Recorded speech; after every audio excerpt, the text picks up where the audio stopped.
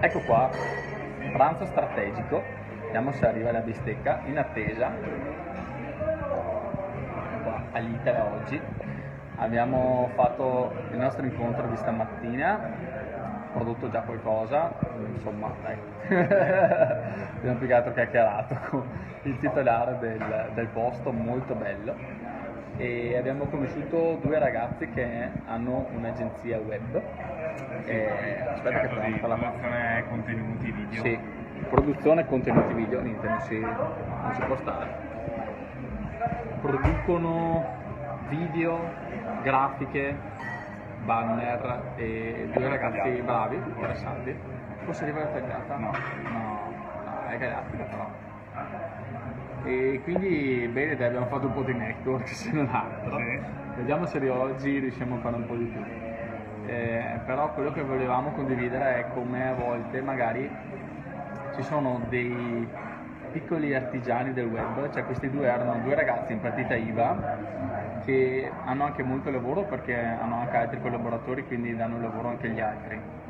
E, e stanno facendo delle cose interessanti, sono bravi e, e, magari poi sono a loro che, che delegano i, i, lavori poi le agenzie. L'ultimo anello della catena, che poi sono quelli che fanno effettivamente il lavoro, magari prima c'è chi ha delegato a loro e a sua volta un'altra agenzia più grande ha delegato a loro e quindi era capire questo, perché oggi non è detto che andare da una grande agenzia eh, ti possa portare eh, tanto di più rispetto a eh, andare dall'artigiano del web che appunto ci mette, ci mette tutta la passione e dà l'esperienza pari a quella di una grande agenzia, quindi non sempre è così. Diciamo che magari per le grandi aziende la, l'agenzia va bene perché tiene le file di tutto, organizza i lavori, organizza i vari freelance che fanno cose diverse. Forse per le aziende più piccole si può iniziare a gestire eh, le varie professionalità da, proprio direttamente dalle aziende, però bisogna saperlo fare e eh, bisogna saper trovare le persone giuste. Mm-hmm. Magari possiamo aiutare dando anche delle segnalazioni.